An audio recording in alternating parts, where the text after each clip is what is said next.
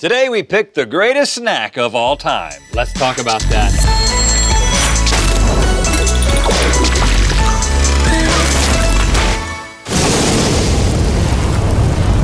Good mythical morning. Thank you for making us a part of your daily routine. Today we're going to be guessing what the heck Mike and Alex destroyed this time, and we're going to be retasting the top four grossest foods we have ever eaten on this show.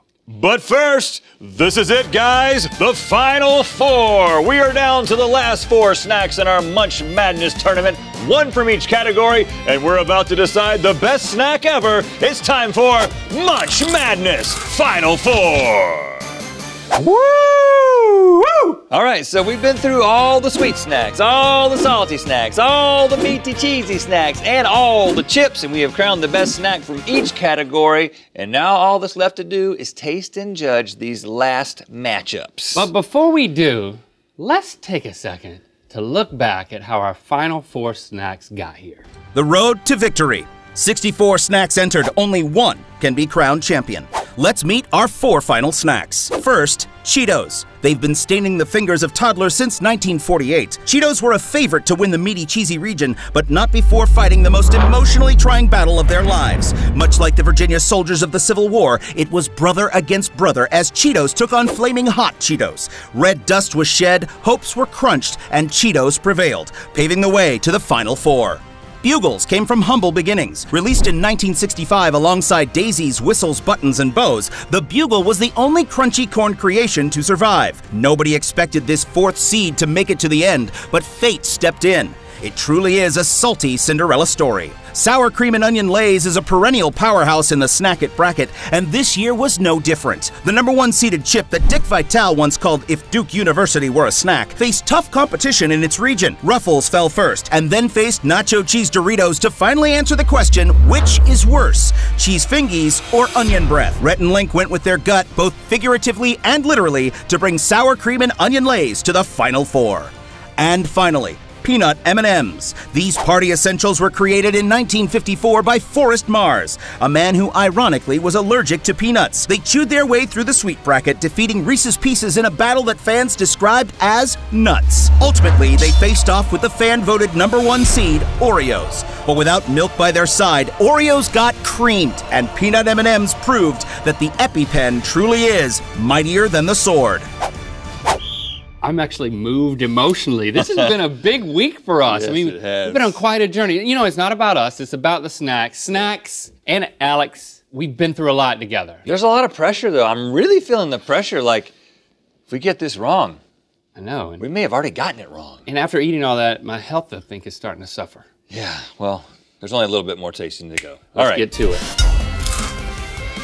All right, our first semifinal match is the underdog Cinderella story, Bugles versus the powerhouse Lay's sour cream and onion. Here's what we know about bugles. They have 160 calories per serving, they are fried in coconut oil, and they give you witch fingers. And here's what we know about Lay's sour cream and onion. They have 160 calories per serving as well. It's the third flavor ever introduced by Lay's in the late 70s, and our crew member Kevin once described them as pretty good. Pretty good. Let's, Pretty good. again, let's revisit. I'd say they're real good. Get a little witch finger here. You come a long way, bugles. And I'm reminded once again how good they are right now. Salty, buttery, tri- triangular, geometric, Fun. but over here, you've got the delectable, crispy chippiness. Mm. Yeah, those are real good, aren't they? You know, as big of a deal it is to be in the final four, and you're both winners. I mean, I think we know what's up, right? Sour cream and onion. I thought you were on the bugle twain train with me. The bugle twain? The bugle twain. I, lo- I love bugles. It's been a great run. You think the victory of Bugles is just making it to the final four? That's as far as Cinderella gets? Cinderella's got to try her shoe on and not turn into a pun. I don't understand. I don't remember the story. But, um, man, no, the crunchiness. The flavor punch. There's a flavor punch in these. It's a low punch. It like does punch so much. groin. It does so much with so little, though. This is the gentle lover. Remember when you played one of these through a Funyun? It's a little childish. Remember how special that was? It gets you back in touch with your youth. Listen, man, the more you talk, the more I get into the bugle camp. I'm right. getting inside my little bugle like a TP and I'm not getting out. I'm saying bugles.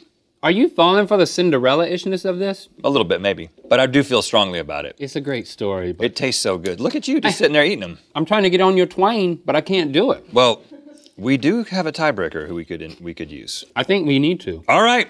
Tiebreaker it is. Introducing three-time NCAA champion, six-time NBA champion, six-time MVP, 19-time NBA All-Star, and the first person to be on this show who's taller than me, Kareem Abdul-Jabbar. Woo! Come on over. Ah, it is an honor to have you, Yes. sir. Yeah, you got a little bike seat there. Yeah. we got you a Kareem-sized seat. Okay, now go. three-time NCAA champion. So, being at that Final Four, how does it compare to being at this Final Four? Well, you know, it's it's a different ambiance here. You know, Yep. you, have never experienced this much pressure. Is that what you're saying? and, you know, all the all the little kids that are watching and their lives will be affected by this. You know, we have to. That do a is good true. Okay, right. I'm, I'm glad you understand what's at stake here. You're right. This is very important. Before you, we have Bugles and Lay's sour cream and onion chips. Uh, feel free to sample them and then deliberate as you see fit. Okay. Mm-hmm. Okay. Okay? Number two. Yeah, go All for right, okay. He didn't seem overwhelmed by the bugles, I will say.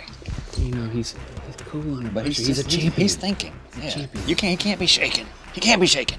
So just give us your thoughts on each of them now that you've tasted both. Just general thoughts. Uh, the bugles are, are, are dry and unattractive. What? Let's see where this is going. The lays are, are tasty. I, I love the taste, so I'm gonna have to go with lays. He's gonna have to go with the Lays. He has spoken. You don't have to go with Lay's. Hold on, no, we're impartial. yeah. We're just as impartial as the man. I gotta say, I'm a little disappointed, but Kareem, I'd rather be disappointed by you than anybody else on the planet. Me too. Okay. All right, sour, sour cream, cream and and onion onion. Lay's moves on. Great job, Alex. Thank you. Hi, Kareem. Okay, let's find out who else we're sending to the championship game. All right, first up, we've got Cheetos. They have 150 calories per serving. They're 60% fat, 35% carbs, and 5% protein. And Channing Tatum once described his perfect sandwich as peanut butter, jelly, and Cheetos on white bread. And here's how peanut M&Ms break down. 220 calories per serving. Originally, they were only available in tan, and they were originally voiced by John Goodman in the commercial, whose mother once worked at Jack and Phil's Barbecue in Affton, Missouri. Wow, you learn something new every day. Uh, I try to limit it to every other day, but you're right. Any day I can learn something new about John Goodman. Don't change I'm- the subject. I'm all about We've it. got a job to do. Let's start with the Cheeto friend. So cheesy, so crunchy. I'm reminded why they made it to the finals. Everyone has his own personality that you kill when you eat it. Yeah. How do they make them? Does Chester the cheetah? Does he? Does he fart him out? Yeah, I think that's how it works. Him and John Goodman. John Goodman is sitting there next to Cheddar, Chester. Well, he's the voice for these, just to be clear. He Oh. poops these out. No, you don't know what John Goodman's up to. He's all over the place. I love how you got the big ones that have a different cheese to corn ratio. Then the little, little, little ones, if you want to get more cheese punch, you just find a little one. Okay. We know we like those a lot, but don't forget about M&Ms. First of all, these are good back to back. I'd like to create a mix out of these. You wouldn't think these should ever compete for anything. Because you can, I've got enough love for both of these, just like most of my children. But you do have a favorite. Right. I do have a favorite. Man, I've eaten a lot. I keep going back through the, the layers. There's something about the complexity that's like a fine wine. It's It's, like I'm on a trip to Napa with my wife. Am I there? She's like, no, you're not even on text. You're not texting with me at all. That's this fine. is a complete separation. That's fine. You know what? I'm I'm I'm somewhere. I'm at the And beach. she's like, I'm so glad you made these plans. You're so thoughtful. You think about our relationship. You're such a romantic man. What are you talking about? Are you sucking up to your wife? let's enjoy this wine together with all its many different flavors. That's kind of what eating peanut M&Ms is like, baby. It's so hard to compare these two guys. It really is. They're both beautiful. Can't have a tie though. I don't want to put Kareem through this. let's just let's just decide in our own brains without even talking anymore, and we'll do a three, two, one, and put our hands over them. And then if we disagree, then we'll hash it out. But maybe we agree, just based on instinct. Okay, I'm ready. Three, two, one. Oh! We agree. Cheetos! And the reason why, yes, is the cheesy. uh, It's just come. It's it's such a unique snack, Yeah. and it's so great. Imitated but never replicated?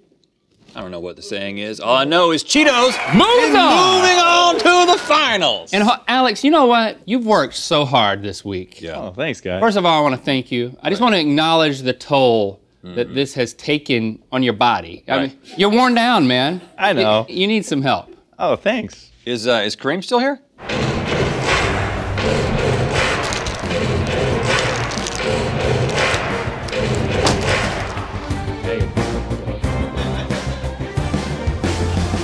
Thanks, Kareem.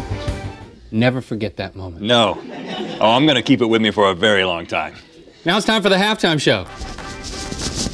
Oh, it's, he is very talented. Oh, he's got a unicycle. What's he gonna do with that? Nothing. Cut himself.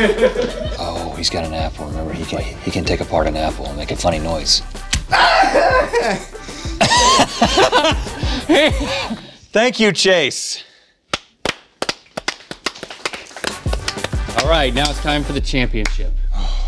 It all comes down to this Cheetos versus sour cream and onion Lay's. Okay, man. We, look, we made it to the championship. Yeah. Of course, we, we knew we were going to make it. yeah, but now we got to make a very important decision. Two, wanna- two number one seeds made it to the final. I'm tasting this first. Taste this first. Let's get a good old fashioned dink it and sink it. It just triggers memories of positive snacking for decades in my mind. But just smell a Cheeto. Just smell a Cheeto. I mean, it even it just smells so good. Give me a Cheeto stash. you got to make it. Look at that. How's that? How's that make you feel? Can you do that with a chip? I don't know. That's a good question. Try it. You already have a stash. Ah, you can do it with that too. So they're still neck and neck. Okay, all right. Let me eat this one. I mean, I'm not so much a fan of cheesiness that that's, Really? that's pointing me that direction. Maybe I eat them back to back real fast. I think the delicate nature of this chip, it's so thin and so dainty, yet such a such a strong flavor. Oh man. It is a gentle lover. This is more like a like a good therapy session. It's like, wow. I feel like you're fading from the Cheeto side. I feel like your your your, your allegiance is going to sour cream and onion. So real fast. But you know what? There's one thing about the Cheetos that over the course of this entire tournament we have not mentioned once, and it's arguably one of the most important factors of Cheetos. You can put them in your nose. Nope. Cheeto dust. Cheeto. How have we gotten this far without acknowledging Cheeto dust on the fingers? That you then lick off. Right. It's like you enjoy it again. That's the dark horse factor. D- do you think that the Cheeto dust is a good thing? I think it's a great thing. Yeah. I like licking my fingers. This is freaking tough, man.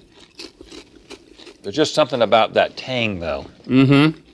From the sour cream and onion that I keep coming back to. It's so surprising. The delicate crunch versus the bold cheese. Okay, let's do the three, two, one thing. Three, Three, two, two, one. We Oh, that means our champion, the best snack ever, is Lay's sour cream and onion potato chips. Woo! Put it on there, Alex. Yeah. Cheetos, you made a great stand. You are excellent. Really, the, the real winner here is Frito Lay's. Well, we, got, we got chips for days. There you go. Let us know how much you disagree with us in the comments. or if you agree, let us know that too. And thank you to the legend, Kareem Abdul Jabbar, for helping us out today. Yeah. We should do this again next year. Yeah. And even better with different stuff. I don't know how we're gonna Don't do make promises. Click on through because Mike and Alex have once again destroyed something, and we're gonna figure out what it was. We might not have a basketball team, but we do have a collegiate t shirt. Sport your mythical school spirit at mythical.store.